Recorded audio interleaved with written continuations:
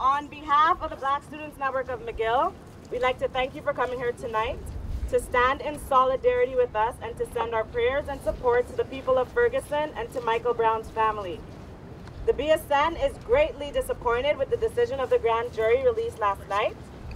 We're here to bring attention to the recurring problem of police brutality in black communities. We are saddened and heartbroken by the results of this case, and we hope that initiatives will be taken to better the relations between law enforcement and black communities so that young men will no longer have to fear for their lives at the hands of those who are entrusted to protect us.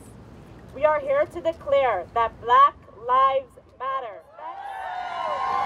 With last night's non indictment of um, Darren Wilson, obviously it was a very controversial decision.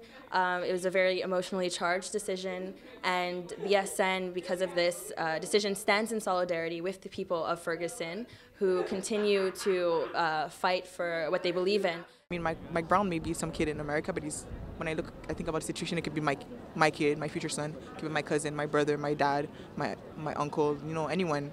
And it doesn't. I don't have to be necessarily connected to the person directly to feel compelled to come here.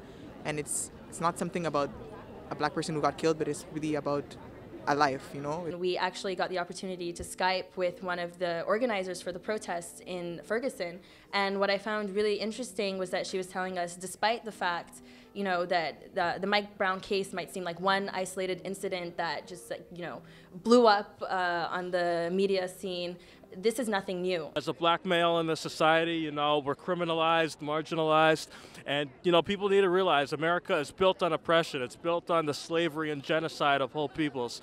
Um, you know, it's institutionalized in the American system. Um, one of the things that really concerns me about the way that um, you know, the Michael Brown or Trayvon Martin uh, killings have been covered is the way that the victims are vilified and their killers are in turn glorified. It's very easy to internalize these um, stereotypes and negative images that we're essentially watching like their case studies, but these are people, these are human lives and all lives matter and that should be, you know, that should go without saying.